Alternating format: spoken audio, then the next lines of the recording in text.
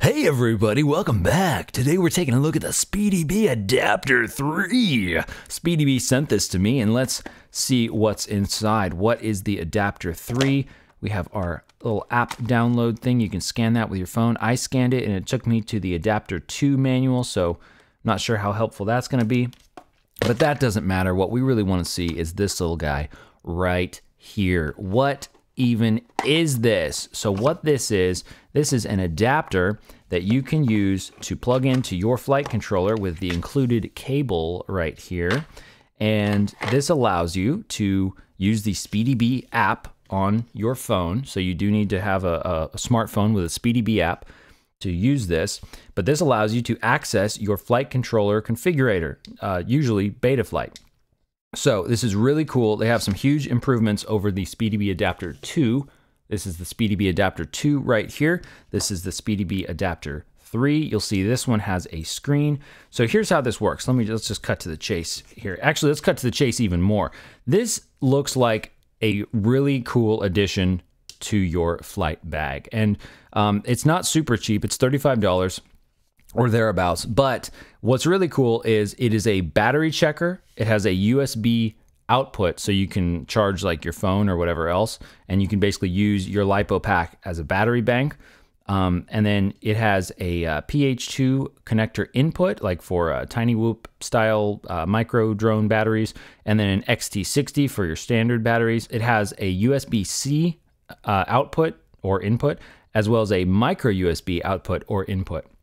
So that's really cool because on their previous model, um, it was just micro USB, and actually one of these one of these connectors didn't even do anything. It was just a dummy connector. So that was uh, that was pretty pretty darn silly. I have a review on the old one, but that doesn't really matter now because there's the new one. We can use either micro USB or USB-C to connect to our flight controller, which is super sweet. So like in this case, this is USB-C. So I'll take the micro USB, connect it to the SpeedyBee adapter 3. I will connect this one to the flight controller.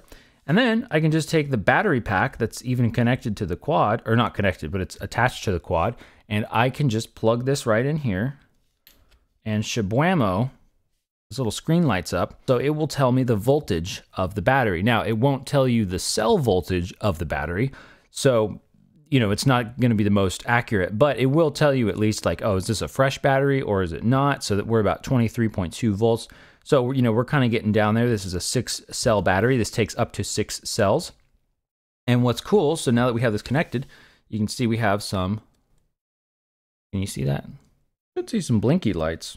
Aha. All right, so I was just having a little trouble connecting this here. It seems like the connection is a little loose um, it could be this flight controller USB-C port, so it wasn't turning on. But now you can see, now it's on. We've got the blinky lights on the flight controller. So the flight controller is powered on. So on the screen there, it is, uh, you see that little red blink, and that's showing uh, Bluetooth and Wi-Fi.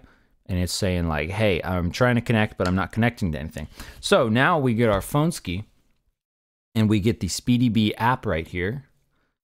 Open that up and for some reason they show you an ad for a product that you probably already bought because you're using the SpeedyBee app. SpeedyBee, please don't do that. Don't show me a, an ad for something that I probably just paid you money for. Anyway, uh, so now what we can do is click on the Bluetooth because you use Bluetooth to connect to the uh, firmware configurator, and then you'll use Wi-Fi if you want to do um, if you want to do like the uh, uh, uh, black box analyzer, which you can do on here, which is pretty cool. But let's go back to just the main screen here. So we'll cl click the Bluetooth and we'll say, yes, turn on the Bluetooth. So it, now it has found the adapter. We'll click connect.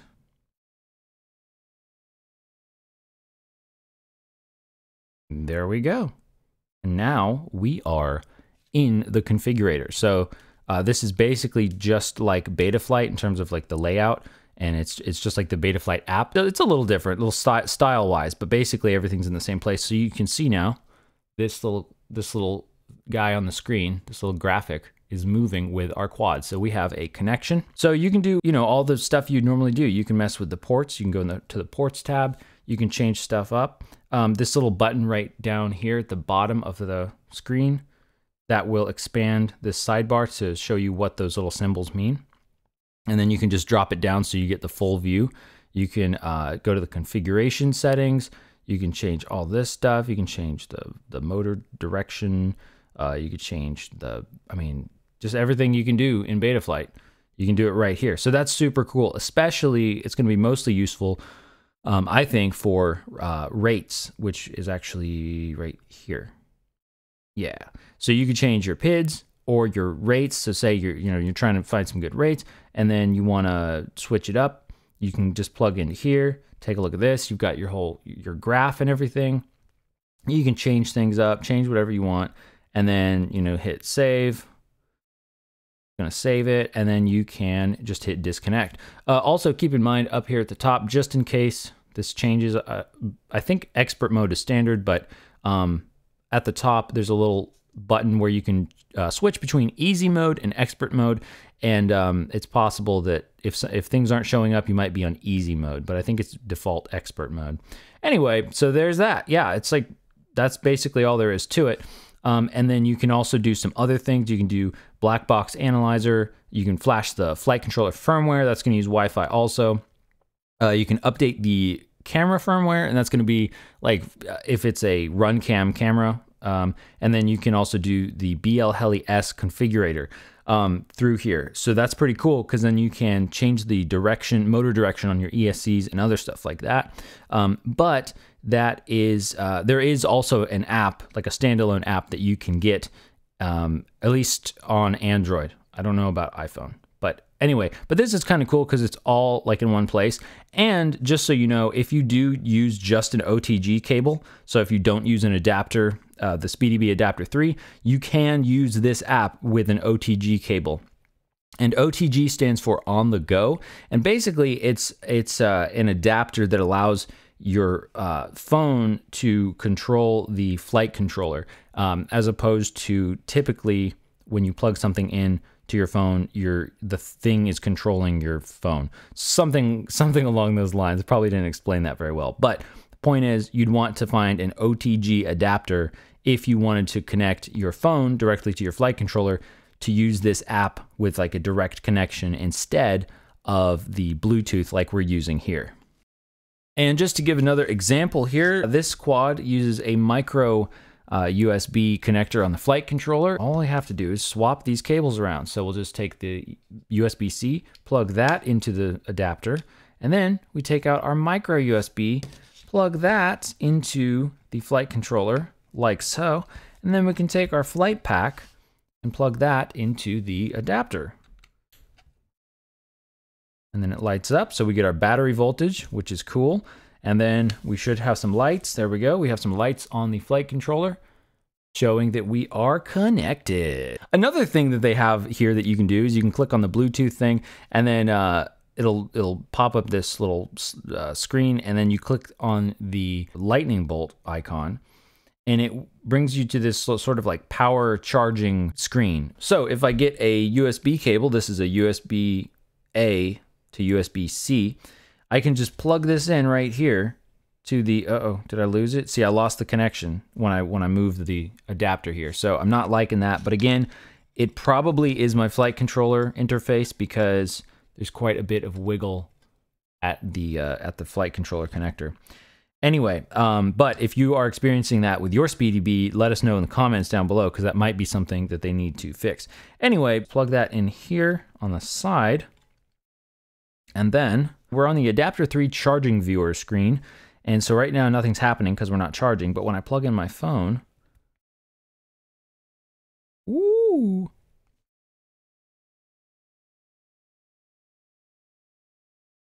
So that's pretty neat. So it gives you gives you the information, it gives you the current, the voltage, the charging power.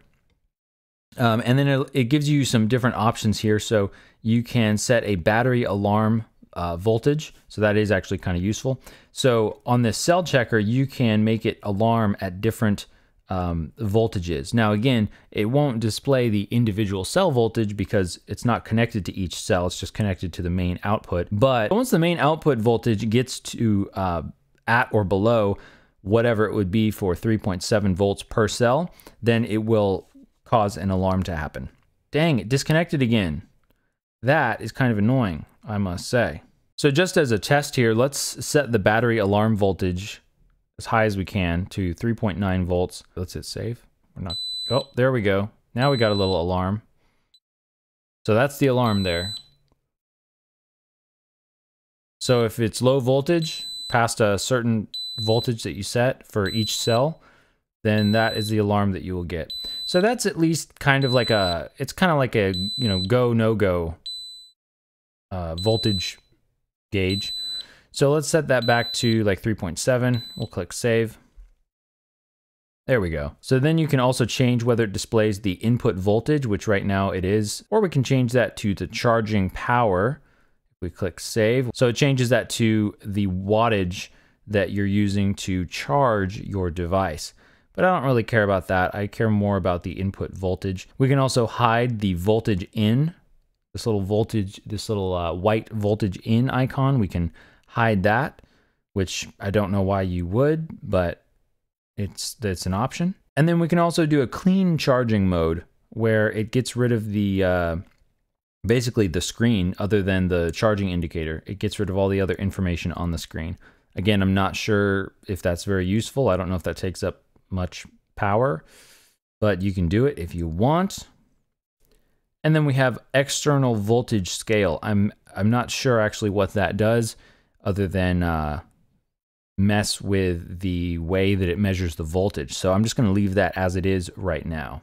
Now, in terms of charging your phone, this is still going to deplete your LiPo batteries. So you're still making that sacrifice of taking power from your battery, but you know, maybe your phone's going to die and you don't want it to, so it's more important to take some, you know, juice from your battery, from your LiPo battery pack and put it in your phone, in which case this is super duper convenient. And one more very important point, I don't think there is a low voltage shutoff for your LiPo battery. So if you leave this connected to your phone, it could potentially drain your LiPo battery too far. I have not seen anywhere in the manual where it says that it will shut off the power if the voltage gets too low. So keep that in mind and always be around when you're charging your phone to make sure that the voltage doesn't get too low on your LiPo battery. Really, I think that SpeedyBee did a fantastic job improving this one. I'm very excited about that. And again, thanks to SpeedyBee for sending this to me. So if you want to check this out, I'll have links down in the description of this video. Thanks for watching, everybody. Leave a comment with uh, your thoughts on this, or if you have one, if you like it, um, that type of thing. Again, there are other options. You don't have to buy this. Um, you can use like an OTG cable uh, to do a direct connection to your flight controller, but I think this could be a, uh, a very um, uh, nice package with many different options for you. There you go, folks. SpeedyBee Adapter 3. Thanks for watching. Keep on flying. Stay cool, and I will see you on the next one. Bye. Bars.